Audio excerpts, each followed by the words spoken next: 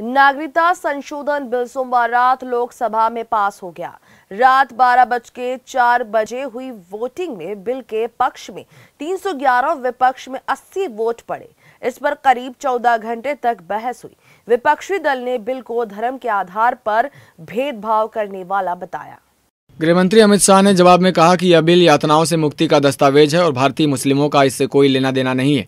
शाह ने कहा कि यह बिल केवल तीन देशों के प्रताड़ित होकर भारत आए अल्पसंख्यकों के लिए है और इन देशों में मुस्लिम अल्पसंख्यक नहीं है क्योंकि वहाँ का राष्ट्रीय धर्म ही इस्लाम है।